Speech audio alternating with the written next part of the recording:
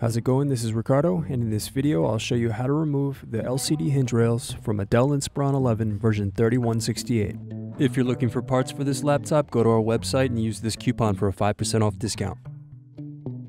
Use a thin object to remove center screw cover. Now unscrew and remove bottom base cover.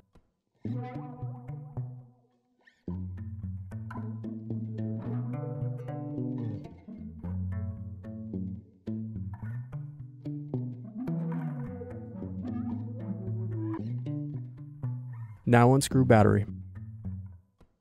Then disconnect and remove battery.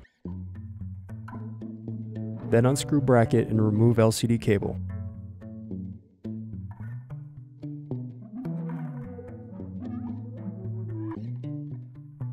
Then disconnect ribbon cable from motherboard.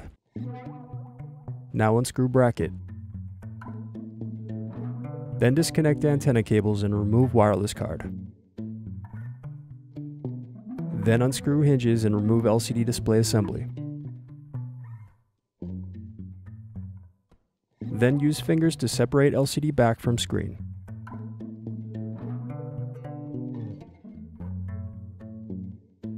Now unscrew and remove hinge rails.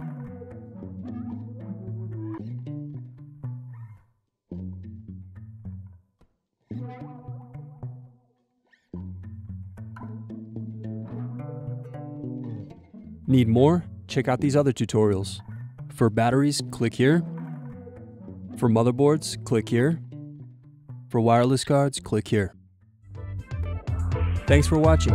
If you enjoyed this tutorial, give this video a like and subscribe to our YouTube channel. Check the video description below for links to written tutorials and replacement parts.